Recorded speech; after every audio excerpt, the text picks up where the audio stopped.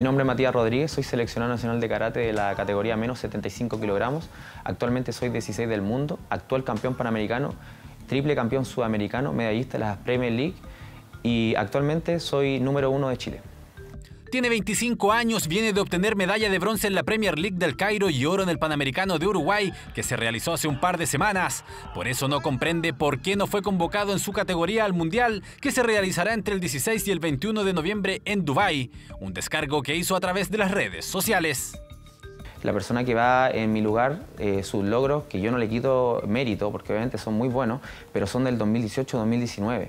Y, y creo que uno es de 2020 por enero pero no son del 2021. Yo soy el, actual campeón panamericano, entonces eh, es frustrante obviamente la, sensación. Se preparó para el Mundial. Junto a su familia costearon viajes y estadías para ir a competencias internacionales. Pensaba que con sus logros actuales sería suficiente, pero el ranking de la Federación Nacional de Karate, que se encuentra congelado desde febrero de 2020, hoy lo deja fuera de competencia. Desazón que fue aún mayor para Matías cuando se enteró quién iría en su reemplazo con este chico, que obviamente no lo puedo nombrar porque su papá es, parte del directorio y bueno, yo me enteré hace poco que su, que su mamá es eh, eh, miembro del comité ética de la federación. Obviamente eh, al hacer este reclamo yo me expongo mucho, pero realmente es un descontento y yo no quería seguir callándome ni tener que aceptar esta decisión que realmente la encuentro muy injusta. Una situación que nuevamente pone las miradas sobre las federaciones deportivas que en más de una ocasión han sido acusadas de favoritismo. En el karate chileno hoy por hoy las decisiones son arbitrarias y hay veces que uno ve a un seleccionado nacional que claro, es primero o segundo el ranking, hay veces que el, deportista no tiene ranking y simplemente lo ponen como una promesa o porque piensan que le va a ir bien y pasan a llevar a la persona que está primero o segundo del ranking.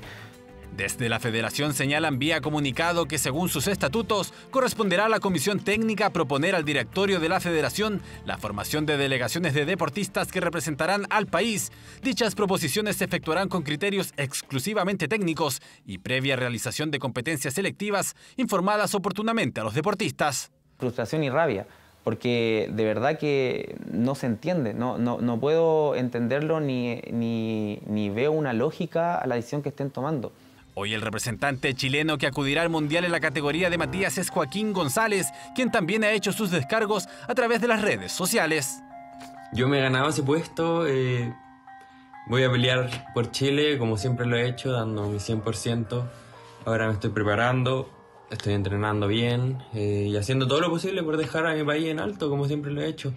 La federación señala que según estimación de la unidad técnica, la comisión técnica y el directorio, es la mejor carta por ahora de Chile al Mundial. Indican que tiene mérito suficiente para ello y que no es cierto que concurra por ser hijo del secretario, quien se excluyó de la votación por el vínculo que les une. Siempre me he ganado mi puesto, siempre he peleado por él y nunca me han regalado nada. Ellos simplemente lo, lo dijeron o no, aquí no hay conflicto de interés porque él se abstiene, pero obviamente la realidad es otra y ya se ha visto ese favoritismo muchas veces, entonces por eso yo estoy haciendo estos reclamos ahora y me estoy atreviendo a hablar. Faltan 12 días para que comience el Mundial de Karate en Dubái, uno en el que Matías participará en la competencia por equipos, un premio de consuelo dice, porque siendo el actual campeón panamericano, considera debiera competir en su categoría.